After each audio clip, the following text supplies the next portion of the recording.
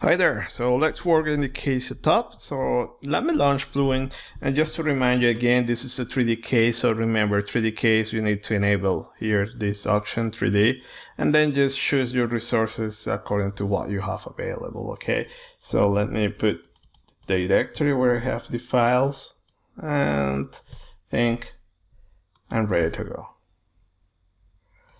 Okay, so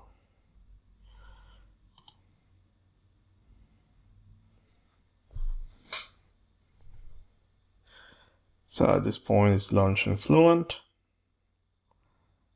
And we just need to read the files. Okay, so again, I have my solutions. This case is rather economical. Okay, so I will I will launch. Yeah, let, us launch the simulation. It's rather economical case. So okay, actually I need to switch here Okay. And to okay, just give me a minute. Okay, actually I, I open in the run directory, so let, let me close. Let me launch again. So I have my Ansys student here. Okay. So I should launch it here. So 3D and sure that this is the right directory. So I have, you have the cases here there. Okay, so let's launch this one. The case setup is straightforward. Then I will have also my Fluent solutions. Okay, I have different models, but this very economical. Shouldn't be a problem to run. Okay, so let's open case data and fluent cases uh, let me open this.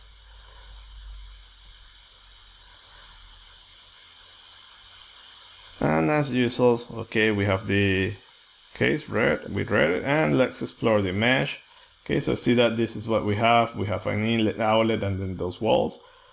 And it's into this what is happening the flow entering here and then you will have the vortex there produced. So basically let's go through the case setup again, okay? So this is very standard. Again, we're running steady. Then in tutorial 14, we're going to focus into scale resolving now and LES and that stuff.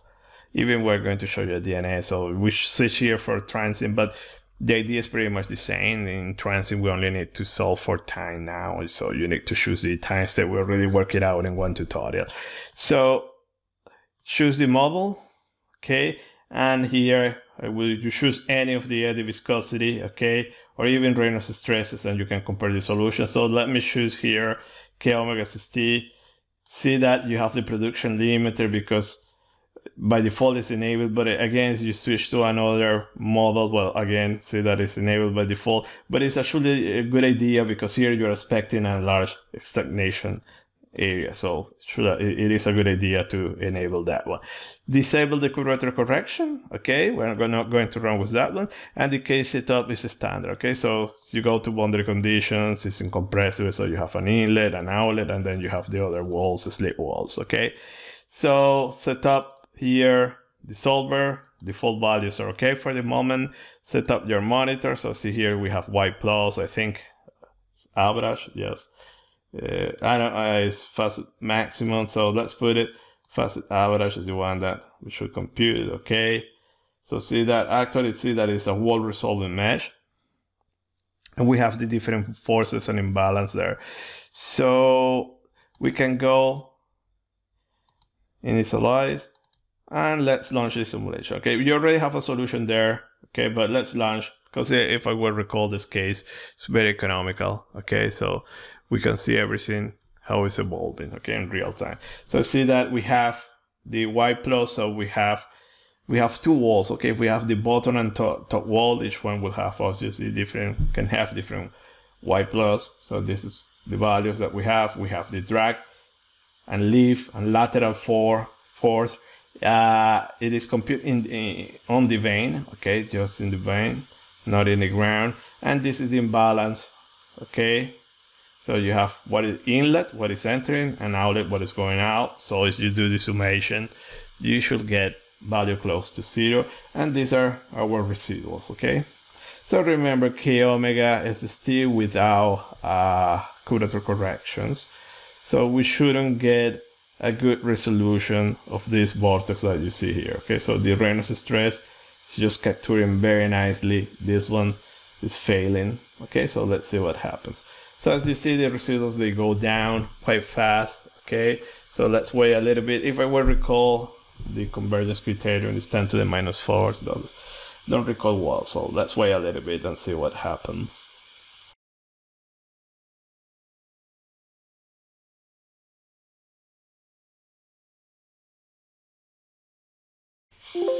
Okay, this is 10 to the minus 3. We have a solution. Okay, always remember this is not your actual solution. You should monitor integral quantity. So see that the CD is okay and the lateral is okay. Probably we should let it run a little bit because this one seems that this still oscillating a little bit, but let's take it for granted. This is a good solution. Again, we can visualize. So remember that now to visualize those vortices, we can use isosurfaces. Okay, so first, okay, let me go here and I created two planes. I'll see here that you can plot velocity, stuff like that. Or you can plot bottom and vane. See that you we plot here pressure contours, okay? The intention is that we want to capture that vortex. See that we have it here, but to capture that vortex, you need to use uh, isosurfaces, so surfaces with the same value. So you generate that here, isosurface, and to capture this, you can use Q criterion lambda 2, that is specifically formulated now to capture that uh, vortices. So you have it here under velocity, you should have here Q criterion normalized, Q criterion rho, and lambda 2 criterion. I like to use the Q criterion rho. Okay, let's use this one. So that domain, and then you can create. And then that after you create it, you just play to with the values, okay? So the thing is that to capture the vortex, the Q criterion is a positive value, okay? So, so sometimes it's tricky to find the right value. So usually I can I start with something like 1000 and then I just start to adjust that value, okay? So let's see. See that 1000 and getting this, okay? So it's capturing too too many too many structures okay? So let me go put it like this okay? Let's still so let me recall what I put here 50,000 okay? So let's go 50,000 so see that also that what you see depends on the value that, that you put okay? So probably 50,000 is too, too too high. So that's why no again it's a good indication because all these cases they have the same value 50,000 okay so see, this is what we have, okay? This is what, what, what, what character. So now let's rerun, not rerun, keep running, but enable this curvature. And if I go here and then press calculate, launch, okay, you have the jump there in the residuals. And now let's see what happened with the behavior.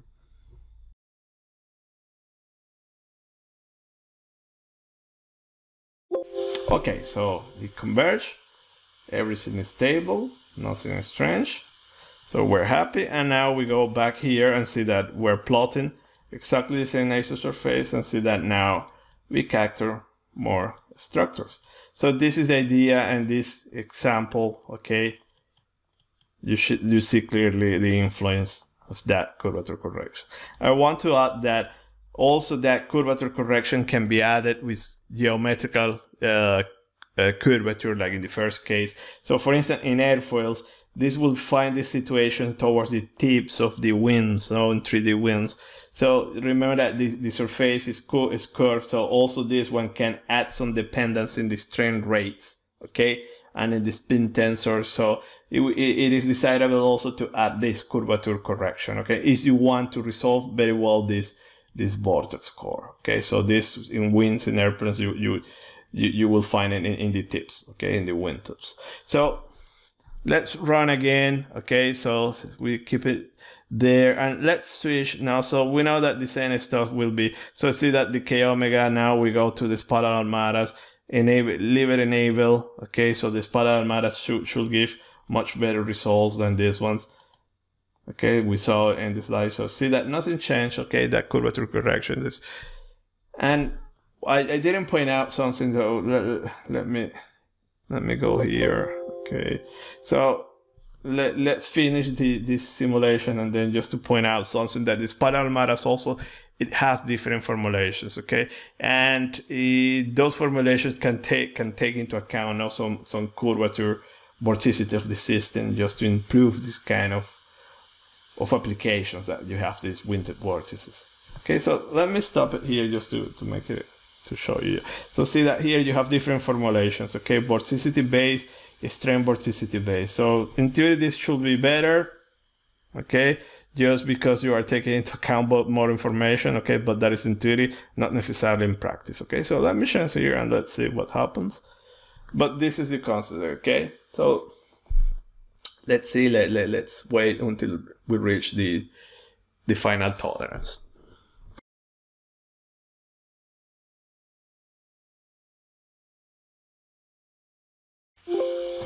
Okay so we reach final tolerance and again let's go here and I just want to plot this one and see that we have a nicer vortex there okay remember using the same criterion and you can compare all the methods okay omega k epsilon you will see that this one it captures better this vortex here. Okay also you should quantify you will see that your cd cl they are similar in all in all cases. You see here you have here the whole evolution so you see that there, there are not big changes. Okay but again this is something that you you should uh, quantify. And finally okay just to illustrate remember also you can adjust this coefficient so usually one is okay probably you can increase it a little bit more but it's quite difficult now to give you a right a, a guideline how high it can be. But i don't I, I don't go as high as four or five if i don't go but again it's a trial and error kind of. So just to show you again you go here Reynolds stress. Now these models those corrections are disabled you need it they're fully anisotropic models and it's up to you to run so if i go here linear pressure strain this one is very difficult to make converge let me enable this one and let's see what happens with this with this model so it's very difficult to make conversion. See that you have that high jump. Even if you have a, a good initial condition, you have this high jump and then you need to let this solution go in time until it settles. Hopefully crossing fingers it won't converge, but, don't be surprised that they converge.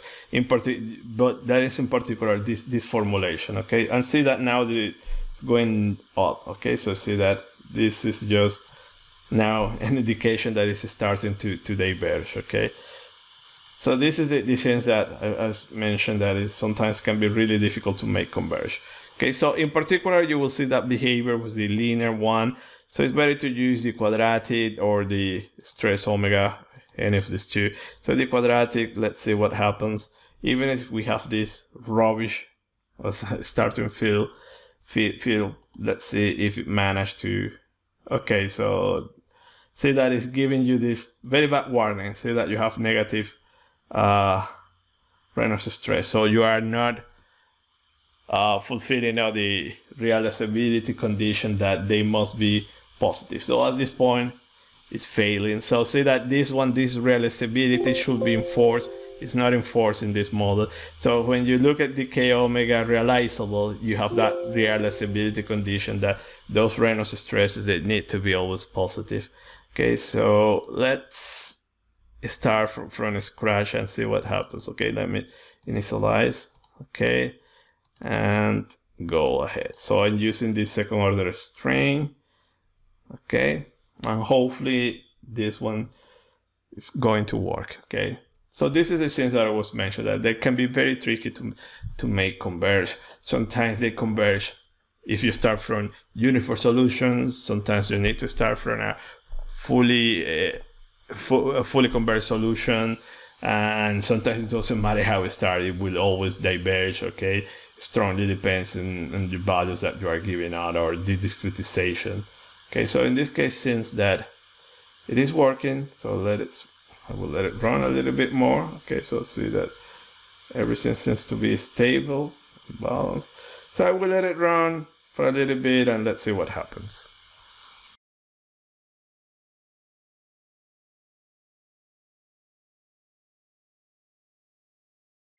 Okay, so the solver is running and see what is giving this funny message that is telling you that you have negative and now it's diverging. So see that now again this one is still it is diverging. It's not very very easy to make conversion. I would like to have one one of these converging.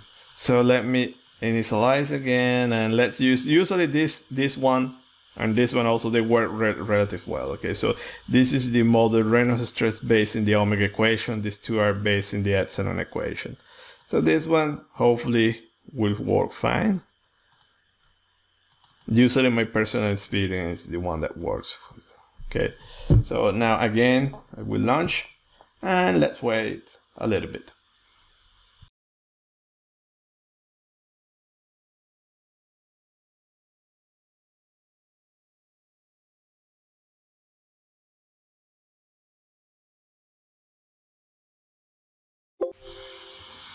Okay, so in my case, it converts about 92 iterations. So uh, as I say that usually the, the omega formulation tends to have better convergence properties. See that everything is smooth, no funny messages that about having negative uh, normal normal normal Reynolds stresses. Remember that those by definition should be positive because it's the fluctuation is square. So there is no way that it becomes negative. But numerically speaking, it might happen. And it was happening in the previous cases. In this case, everything was smooth. And again, we can go here and see that you plot and then you capture this. Okay, so see that you have this one, the horseshoe vortex here, another vortex here. Okay, you have all your vertical structures. Okay, and again, you can get the other velocities. So see here that the vortex core, you have it there. Okay, and we can go and plot there. The turbulent viscosity. And see that the idea is that like, the core shouldn't produce too much viscosity there. So as you see there that is the behavior that we have in this case. So a nice case as I say no validation data but we understand well the physics okay? So I think that is all for these corrections, the production and curvature correction. And I think it's, it's all okay for all the RANS models. So in the ne next videos, we're going to move to SRS, LES simulations, and probably show you also DNS. Also, the next tutorial 13, I will just, will be in your own, at your own. So I will just introduce you the case and it will be up to you to set up that case. So that's all. Thank you very much for the attention. See you next time. Bye.